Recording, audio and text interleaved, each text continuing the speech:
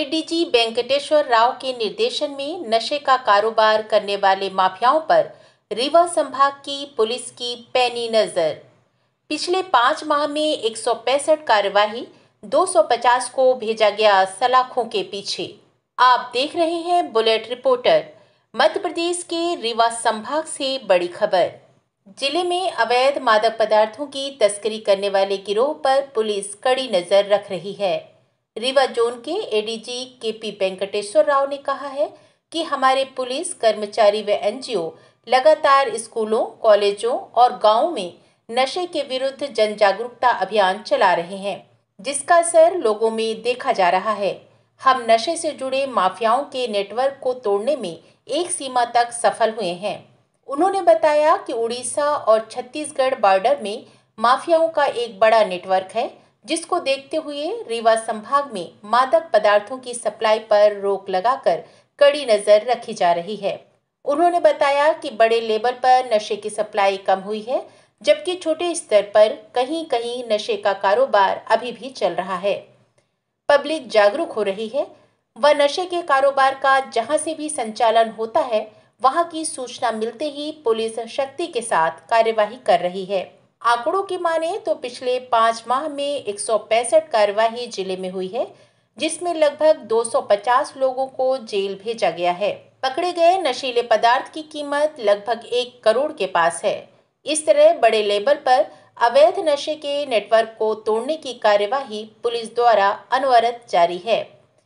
Rewa zone के सभी SP को यह निर्देश दिए गए हैं कि वह नशे के नेटवर्क पर निगरानी रखें व सभी थाना प्रभारियों व एसडीओपी को निर्देशित करें। आइए सुनाते हैं Rewa zone ADG KP Venkateshwar Rao ने मीडिया से बातचीत के दौरान क्या कुछ कहा है। बुलेट रिपोर्टर के लिए ब्यूरो रिपोर्ट, रीवा। ये एक, जो है, ये भी एक ऑपरेशन के रूप में हम पिछले डेढ़ साल से मैं चला रहा हूँ।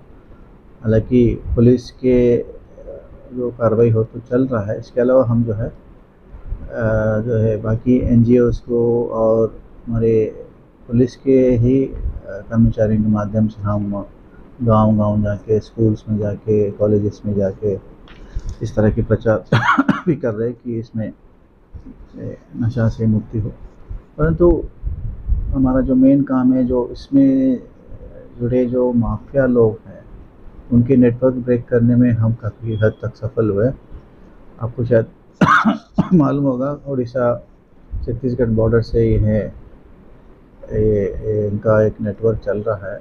अभी उस नेटवर्क को हम करीब करीब सप्लाई साइड हमने ब्रेक किया है। इसमें जितने भी बड़े बड़े लोग इन्वॉल्व थे तो लोकल रीवा के थे, सतना के थे, उन सब अभी सभी कार्रवाई स्ट्रॉन्ग एक्शंस लिए हम लोग उसमें तो बड़े लेवल पे अभी कार्रवाई मतलब सप्लाई नहीं दिख रहा है। छोटे छोटे स्तर पे अगर हो सकता है तो हो रहा है। उसमें भी पब्लिक काफ़ी जागरूक हो गई है। उनको जगह जगह से जानकारी है, प्राप्त हो रही है। इसमें हम जैसे जानकारी मिलता है, वैसे तुरंत तुरंत कार्रवाई कर रहे हैं। प्रति माह में हम लोग जो मीटिंग लेते हैं कई मीटिंग लेते हैं, हर एसपी को, हर ज़िले के एसपी को हम निर्देश दिया है। इंटर्न जो है, उन्होंने अपने एस डी थाना प्रभारियों को अलर्ट किया है। इसमें हम लोग विशेष रूप से ध्यान दे रहे हैं। कई बार देखा जाता है कि जनता में बेस्ट कम्युनिकेशन होता है तो कार्रवाई करने में मदद मिलती है पुलिस को।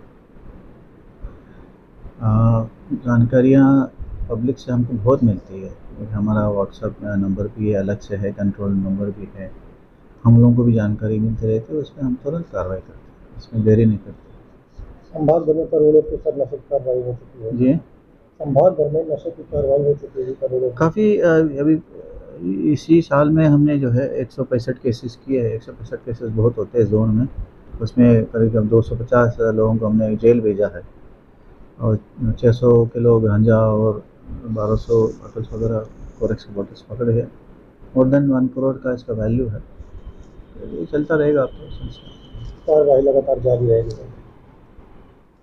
नए वीडियोस एवं ताज़ी खबरें मिलती रहें, इसके लिए हमारे चैनल को लाइक, शेयर और सब्सक्राइब करना ना भूलें।